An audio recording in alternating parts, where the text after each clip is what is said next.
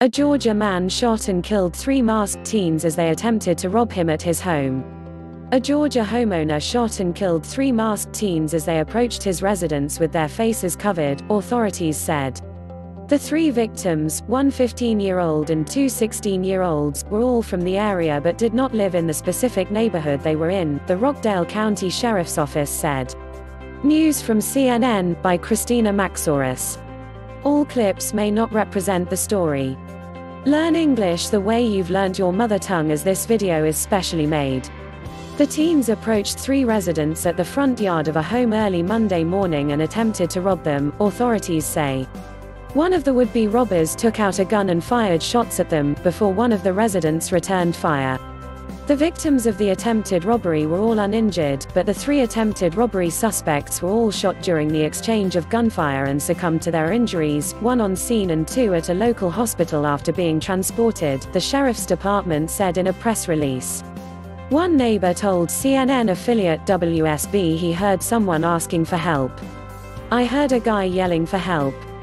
Help me, help me, I'm dying, I'm dying, help me, help me, Brian Jenkins told the affiliate.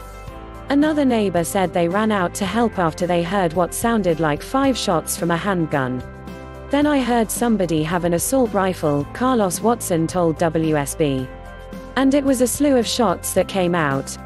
Georgia is one of at least 10 states with self-defense laws that include language stating a person may stand his or her ground, according to the National Conference of State Legislatures.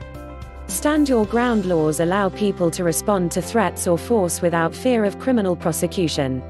Georgia Code states that a person is justified in using force which is intended or likely to cause death or great bodily harm only if he or she reasonably believes that such force is necessary to prevent death or great bodily injury to himself or herself or a third person or to prevent the commission of a forcible felony. Quote, no charges have been filed against anyone at this time, authorities said.